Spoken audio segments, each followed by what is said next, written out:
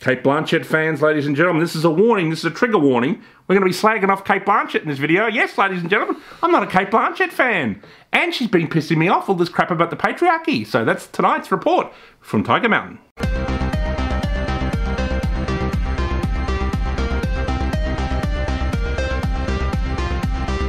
Cate Blanchett, ladies and gentlemen. Look, you know, obviously, I'm not one to slag off, um, you know, actors and actresses from Australia because I'm very pro um, Australian cinema, as you know from the Melbourne Underground Film Festival. I'm a filmmaker myself, so you know, it's with a heavy heart that I, I, I produced tonight's uh, report from Tiger Mountain.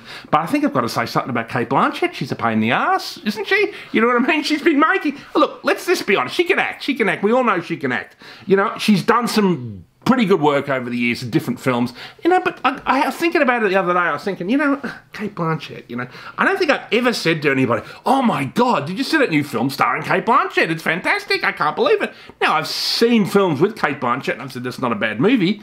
But you know, I don't know. There's something about her that's slightly irritating. And the thing that really is irritating about Cate Blanchett is her politics. Of course, she's been a white princess, but you can be a white princess and you know, um, you know, sort of keep it in the background and not make it kind of what you're, you know, known for. But Cate Blanchett has gone out of her way to position herself as a kind of woke, um, you know, speaker, the head of the head of the pack, so to speak. And recently, I think it was, I'm not sure it was at the Golden Globes, was the award that came after the Golden Globes. She attacked um, you know, the patriarchy at the awards. She said, oh, you know, aren't we all sick of these award ceremonies and their hierarchical patriarchy? By the way, just happens to be, you know, awarding me every single time. But I guess, you know, and I do turn up to accept these awards, but that's not actually participating or uh, being kind of, what's the word, um, you know, uh, enabling. That's nothing like that. Of course, it is.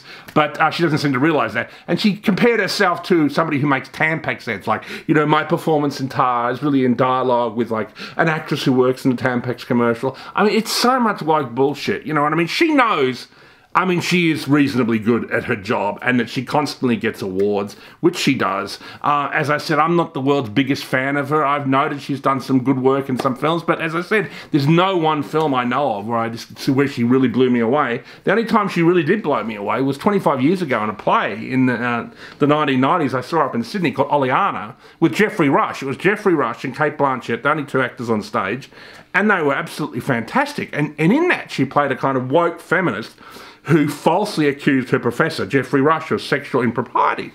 And I thought it was brilliant. And uh, Geoffrey Rush was fantastic, being falsely accused, which I think he was recently. And she was somebody who did the false accusing, and then, and which of course sounds sounds completely like her, right? So, um, you know, that to me was a play. I remember coming away from that and going, Cate Blanchett and Geoffrey Rush. And this was before they were famous. This is before, um, you know, like uh, Geoffrey Rush was famous, and even before Cate Blanchett. This is around 95, 96, ladies and gentlemen. So, you know, um, that was a really, really good play. And uh, they did turn that into a film. David Mamet wrote the original play, but, um, you know, they weren't in it. They, but they were the stars of the Australian version of the play.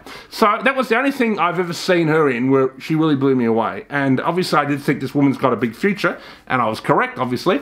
Um, but I think it's sad sad the way she's constantly inserting her politics. We're sick of it. I mean, you can have your private opinions, and if occasionally it comes up in an interview, that's fine. But every time you accept an award, you have to, you know, get up on stage and attack the patriarchy. The patriarchy that keeps awarding you again and again and again. She's nominated for Academy Award for this film Tar. Now, I haven't seen that. Maybe this film Tar is interesting because it does deal with the notion of political correctness. It deals with the idea of Me Too, and I think it sort of attacks it, apparently. So it might be a non-PC film. So maybe somehow Cate Blanchett has done something kind of interesting. So we do have to check it out. It's directed by a guy called Todd Field, who was a kind of protege of Stanley Kubrick. He was Nick Nightingale in the film um, Eyes Wide Shut, the guy played the organ, who was friends with Tom Cruise in that film. So uh, Todd Field is a very interesting director. He's made a couple of great films. So we'll check it out. But, you know, the whole noise about Cate Blanchett, she just gives me the shits, ladies and gentlemen. And I'm sorry, I hate to knock an Australian actress, but I had to make this report from Tiger Mountain to enlighten you all with my views. So there it is. Apologies to Cate Blanchett fans, but,